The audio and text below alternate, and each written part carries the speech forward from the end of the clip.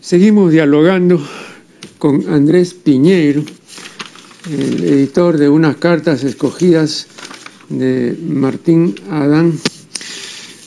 Vea como, como personaje de, de, nuestro entorno literario. Eh, Martín Adán es evidentemente un personaje de época, ¿no? Eh, yo no concibo ahora a un Martín Adán, estaría desfasado completamente. ¿no? A nadie le importaría que fuera con la travesía de Extravares, ¿no? sinceramente. ¿no?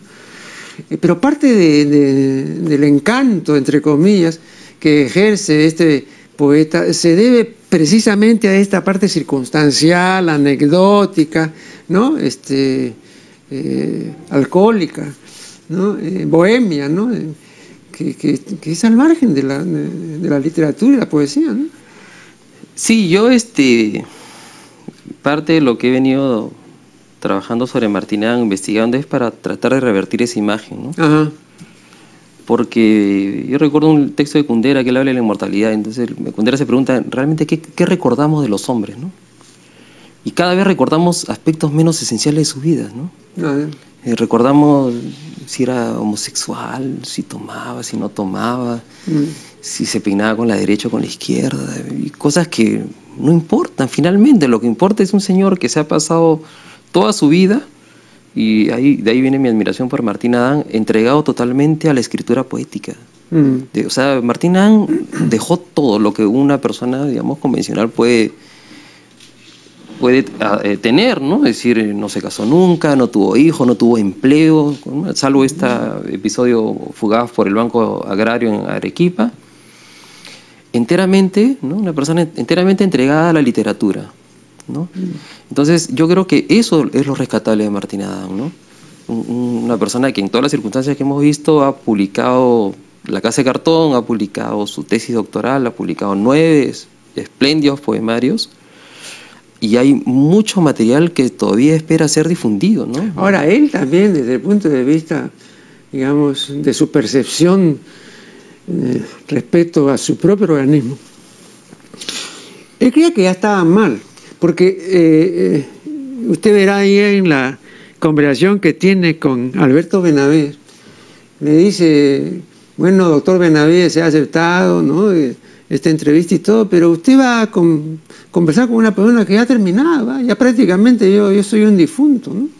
Entonces él tenía esa percepción. eh, Sí, se lo dice también a, a Mario Campos, ¿no? ajá. Dice, ¿usted tema la muerte? No, pero cuando muera no quiero estar presente, ¿no? Como Ujú. que la veía estar cerca. Sí, seguramente, ¿no? Yo creo, pero él, mucha de la actitud de Martín Adán es hacia la depresión, ¿no? No, no lo veo, o sea, él no tiene un, po- un po- poemario de la euforia, por ejemplo, ¿no? No hay un canto a la vida, no, no, los temas de él son recurrentes a la muerte, ¿no? A la pérdida, al dolor humano, al sufrimiento. Mm. Por eso yo un trabajo con el que me gradué en filosofía es este Desventura en extramares, ¿no? Que recojo la este, este, esta idea de Hegel de la conciencia desventurada, la conciencia desgarrada, la conciencia cristiana, que ve en el mundo más bien el dolor, ¿no? El dolor, el sufrimiento es válido, Mm. ¿no? Eh, eh, realmente eso nos enaltece, nos prepara, ¿no? El mundo es visto como un valle de lágrimas. Entonces, todos estos elementos están en la obra de Martín Adán. Perdón, este, Recurrentemente, ¿ah? No sé si usted sabe la observación de Borges. Acaba usted de decir Valle de Lágrimas. ¿no?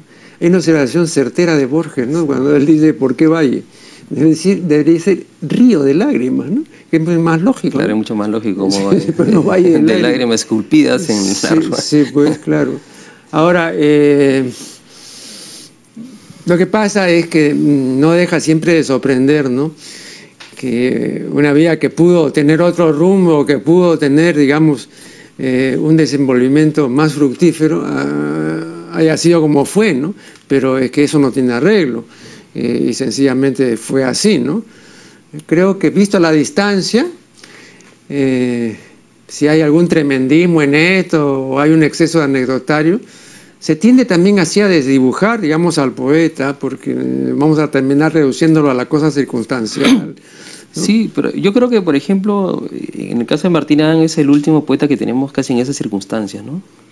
Hoy por hoy, inclusive los poetas de los 70, de los 80, que tuvieron una actitud no parricida con la tradición poética, hoy por hoy son profesores, no solo en el Perú, sino en el extranjero, en, Estados Unidos, se dedican al, periodismo.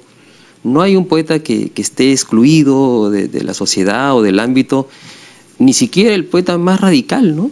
Mm. El poeta que más se enfrentó al régimen, el poeta que salía a las calles, etcétera, etcétera, tiene una vida más o menos eh, holgada y, y, dentro de algún oficio. Marco Martos, por ejemplo, es eh, presidente de la Academia Peruana de la Ley o director, o estuvo, ahora está Ricardo Silas Santisteban. Entonces ya no hay, yo no creo que, que esa imagen del, de, de, Martín Adán totalmente alejado de la realidad, ¿no? El poeta maldito, ya yo, hoy por hoy creo que no se sostiene, ¿no? Yo creo que se está perdiendo esa imagen y creo que para bien, ¿no? Martín Adán tuvo todo lo, que puede tener un ser humano, inclusive en abundancia, ¿no? O sea, viene de una familia principal del Lime de Pacasmayo, estudia en el colegio más prestigioso del momento, el colegio alemán, al lado de, de Westfalen, de Núñez, de, Abril. En ese colegio estuvo Luis Felipe Alarco, estuvieron los hermanos Salazar Bondi, Alberto Bani de Reina, tuvo profesores como Luis Alberto Sánchez, un sabio botánico como Augusto Weberbauer, estuvo Alberto Ureta, Emilio Huidobro. Tuvo una educación privilegiada en un hogar privilegiado, ¿no? Y con rentas en, qué sé yo, casas de, campo, en los ranchos en Barranco, qué sé yo. Mm. Después estuvo estudió derecho y, filosofía, ¿no? Entonces tuvo, pudo tener dos carreras con todas las condiciones. Y de repente opta, ¿no? Opta por la poesía y con todo lo que eso pudiera traerle eh, de adversidades, ¿no? Ahora, en cuanto Lo bueno de Alan, perdón, este, nunca se queja. Mm. No hay una sola queja. Y eso que me parece que también lo enaltece. ¿no? Ahora, usted, y no solamente usted, pero a usted le he oído decir más de una vez que, que Martín Adán era católico, no practicante, pero que, digamos, este, lo signó el catolicismo. ¿En qué sentido? Yo creo que él eh, en, ese, en ese momento tiene problemas con su homosexualidad, ¿no? Yo creo que él eh, Inclusive cuando él escribe... Bueno, pero entonces le hacía caso a la iglesia. Eh, eh, yo diría que en gran parte de su obra, no, no siempre. Porque, digamos, una lectura de los evangelios este, no autorizaría e, esa discriminación en absoluto. Esa discriminación es la del Código de Derecho Canónico, ¿no? Y, de todo lo que han dicho los santos padres, pero eso no está en los evangelios. inclusive él cuando termina, no recuerdo, creo que era la mano de Sacía, le da al padre Gerardo Alarco y le dice, dime algo, dime si hay algo en contra de la iglesia, por favor, para corregirlo. Ah, sí, ¿no? Sí. Eso también me sorprende porque yo acepto a Martín Adán hasta el 50 con esa actitud, digamos, de cierta ortodoxia con la Iglesia Católica, ¿no? En sus, en sus escritos. Pero de ahí en más, no, al contrario. Mm. O sea, Martín Adán rompe con su estilo en, el escrito a ciegas y luego en la mano de Sacida, aparece una serie de vocablos que él jamás hubiese empleado en la primera etapa, ¿no? O sea, un, un lenguaje culto, lleno de arcaísmos, de referencias bibliográficas, con riqueza filológica. Él deja eso y comienza a escuchar unas palabras como eh, Machu Picchu, épica del pene erecto, y allá la chola culona, terror de tranvías y transeúntes, o fornico como mis religiones. No temas Machu Picchu, ningún daño te causará Neruda. Eso impensable, ¿no? Pues yo creo que sí, en algún momento, en un momento determinado, y eso es lo que yo sostengo en mi, en mi texto, hasta el, hasta, hasta el año 50 más o menos, aparece una conformidad ¿no? en su poesía y en su vida creo que tiene que ver con, el hecho de no haber aceptado su homosexualidad, que tengo entendido lo perturbaba, ¿no? Nunca fue pública, nunca... Bueno, pero en esa, época, sí, en esa época era muy difícil, sí, era ciertamente. Muy difícil, digamos, salir del closet. Sí, sí, ahora, bueno... Claro, ahora han cambiado las cosas, ¿no? Pero, ahora ya no llama atención que, nadie, que alguien salga, por ejemplo. Sí, no, no, y cuando se hablaba, digamos, de, algún personaje de, nuestras letras o de la política, se hablaba siempre pues en voz baja, ¿no? Y además como una presunción no siempre fundada, pero se deslizaban esas cosas. Sí, como de la Ribagüero, ¿no? José de la Ribagüero.